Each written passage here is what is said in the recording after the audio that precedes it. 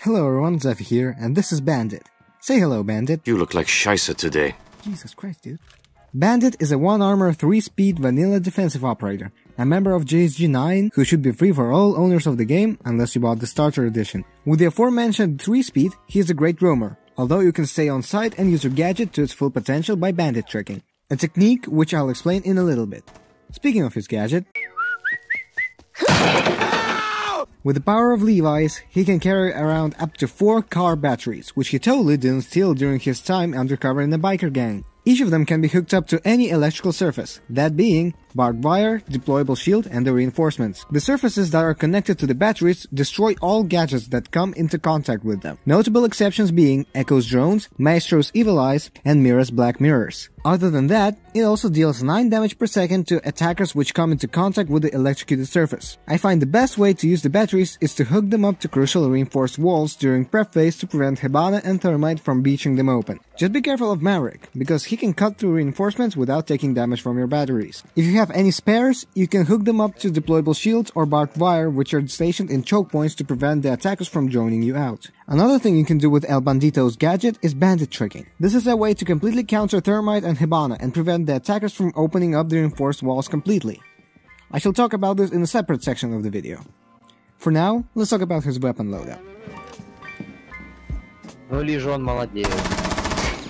Banjara's weapon loadout consists of the MP7 SMG, the M870 pump action shotgun, and the P12 semi-automatic pistol. The MP7 is hands down one of the best SMGs in the game, equipped with a 30 round mag, 900 RPM, and 32 damage per shot. For barrel attachments, it has access to the compensator, muzzle brake, flash hider, or suppressor. I personally use the flash hider, although the new recoil changes Oh god. I personally use the flash hider, although the new recoil changes might make me change my mind. For sights, it can take any close range optics, although the iron sights work pretty good as well. It can also take a laser sight if you like to use it.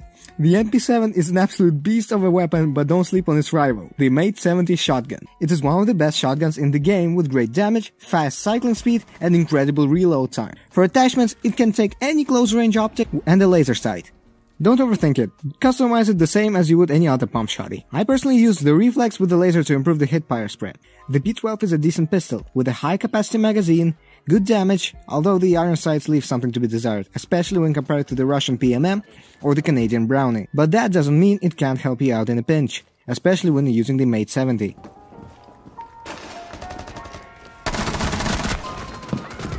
Bandicam's secondary gadget options consist of barbed wire and the nitro cell. Barbed wire synergizes with your primary gadget very well, and is in general pretty useful on its own. I mean, it's barbed wire. Place it in common choke points through which you would expect attackers to push such as doorways and staircases in order to slow them down and maybe even use the sound cues to ambush them and get an easy frag. Like mentioned previously, you can also connect your batteries to them to prevent attackers from droning easily. Another option you have is the Nitro Cell, which you used to see very rarely before but has slowly been creeping its way into ranked. It's an amazing fragging gadget, especially on a 3-speed operate. Just throw it towards the enemy and get easy frags. Drugs. Use whatever you want here. Both of those are great in right circumstances. Now, let's talk about the most interesting part about Bandit. Bandit tricking. What is bandit tricking? It's a way to more reliably counter Thermite and Hibana since placing down your batteries early just leaves them open for being easily destroyed by Thatcher or Twitch. The way to do so is to wait until the attacker hard breaches place down their gadgets on the reinforced wall they're planning to breach, and then placing your battery to destroy them before they can detonate.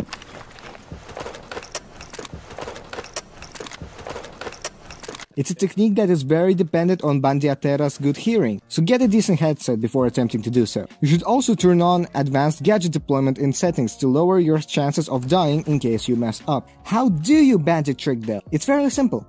Just stand dead center in the middle of the wall that you are planning to trick and look straight towards it or straight away from it. Then wait until you hear the signature sound of Thermite deploying his exothermic charge or Hibana shooting her X-KAIROS pellets from one of your ears. It's all pretty straightforward from there. If you heard the sound mainly from the left ear, you banded the left wall. If you heard the sound mainly from the right ear, you banded the right wall. If you hear the sound approximately equal from both, you banded the central wall if it exists, otherwise banded the wall on the side from which the sound was more prominent. Being efficient at it can easily win you rounds, especially on objectives where a single reinforced wall balances out the defender's chances of winning. To help you hear better, you can also shoot out a hole in the wall you're going to trick before reinforcing it. And now for the best part of the video, I am going to tell you all the ways to counter bandit tricking that I know of and that you can try in your next ranked game. Number one way is fairly obvious, and you just need Maverick for that. Using his blowtorch, he should make holes on leg level of reinforcements.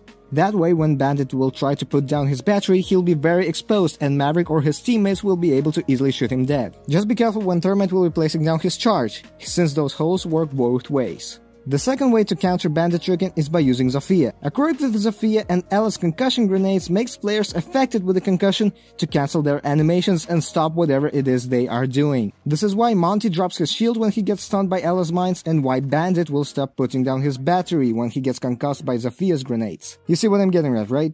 Just start indiscriminately shooting concussions grenade while your Thermite or Hibana prepare their beating gadgets to prevent Bandit from tricking. As a defender, the only thing you can do against that is to put down Jaeger ADSs near the reinforcements to snipe down the concussions before they can detonate. The third way requires to use Capitao's firebolt. By shooting the fire right where you would expect Bandit to trick, Thermite or Hibana can put their breaching tools on the wall without having to worry about Bandit batteries. If he tries to put down another battery, well, he's probably going to die because of the way his gadget placement animation works. However, this way is not 100% consistent and you are better off using one of the previous two methods. Also, Capitao's fire goes through walls, and because of that, if you're not careful enough, you might accidentally fry your friendly thermite a little bit. This is not a problem for Hibana though. The fourth way requires the attackers to have both thermite and Hibana. If Hibana and thermite place their breaching gadgets on two different reinforcements at the same time and detonate them as soon as they possibly can, it will be incredibly difficult for Bandit to destroy both the charges before either of them detonates. It is possible to do so on walls which have only two reinforcements,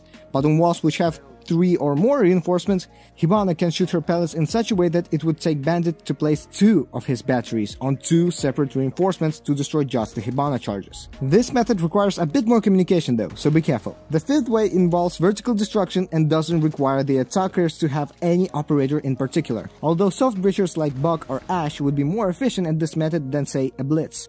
Just destroy the floor or the ceiling on top or under from where the bandit is tricking, and hold an angle on the reinforcement from the inside while your hard breaches do their job. If bandit still tries to put down his battery, well, you can just shoot him. Just be careful of being flanked or being shot at from the hole that you just made. The sixth way is also pretty straightforward and requires frag grenades. Basically, just throw a frag grenade on the other side of the wall when your Thermite or Hibana are going to hard breach and get an easy kill. You can also use flashbangs to make it harder to hear the sounds of gadgets being placed, but this is not a guaranteed way to counter the tricking since Bandit will be able to place down his batteries. He will just have a harder time figuring out which wall he should chop. The seventh way is, uh, weird.